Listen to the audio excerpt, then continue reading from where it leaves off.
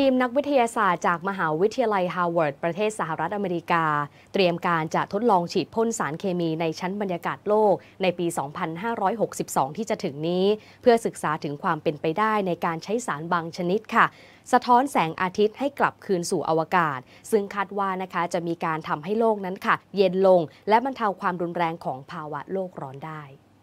มีการเปิดเผยถึงโครงการวิจัยดังกล่าวในวารสาร Environmental Research Letters เมื่อเดือนที่แล้วค่ะ ซึ่งทีมนักวิทยาศาสตร์ของ Harvard เสนอให้ฉีดพ่นสารจำพวกละอองลอยซัลเฟตปริมาณหลายล้านตันในชั้นบรรยากาศ ชั้นสตราโตสเฟียร์ค่ะ เพื่อให้ลดความร้อนแรงของแสงอาทิตย์ลงได้อย่างรวดเร็ว สอดคล้องกับความจำเป็นของมนุษย์ที่ต้องเร่งแก้ไขภาวะโลกร้อน ในขั้นวิกฤตนี้ให้ได้อย่างเร่งด่วนค่ะ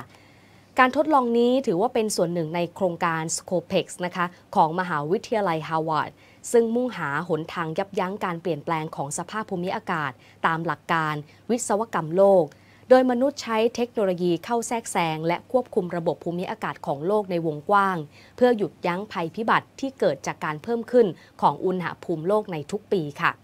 ทีมผู้วิจัยอ้างว่า การใช้ฝูงบินของเครื่องบินที่ออกแบบมาเป็นพิเศษ ออกปฏิบัติการฉีดพ่นสารเคมีสะท้อนแสงอาทิตย์เป็นระยะนับหลายพันครั้งต่อปีนั้น มีความเป็นไปได้สูงในทางปฏิบัติค่ะ และมีต้นทุนต่ำพอที่ชาติต่างๆ จะร่วมกันแบกรับภาระทางการเงินนี้ได้ค่ะ โดยประมาณการว่ามีค่าใช้จ่ายตกปีละ 3,500 ล้านดอลลาร์สหรัฐเท่านั้น ซึ่งก็นับว่าน้อยมาก เมื่อเทียบกับงบประมาณที่ทั่วโลก ใช้พัฒนาพลังงานสีเขียวอยู่แล้ว ถึงปีละ5แสนล้านดอลลาร์สหรัฐค่ะ อย่างไรก็ตามบรรดาผู้เชี่ยวชาญยังไม่อาจแน่ใจได้ว่า วิธีลดโลกร้อนแบบแหวกแนวนี้ จะมีความปลอดภัย และไม่ส่งผลกระทบทางรบที่ร้ายแรงในระยะยาว เพราะการใช้สารเคมีสะท้อนแสงอาทิตย์นั้น ไม่ต่างอะไรกับการสร้างชั้นบรรยากาศที่เรียนแบบโลกยุคโบราณ สำหรับการทดลองขั้นต้นนี้จะใช้บอลลูนนำสารแคลเซียมคาร์บอเนตหรือหินปูนที่อยู่ในรูปของควันละอองลอย ขึ้นไปฉีดพ่นที่ระดับความสูงราว 20 กิโลเมตร เหนือพื้นโลก โดยจะยังใช้สารดังกล่าวในปริมาณไม่มากนัก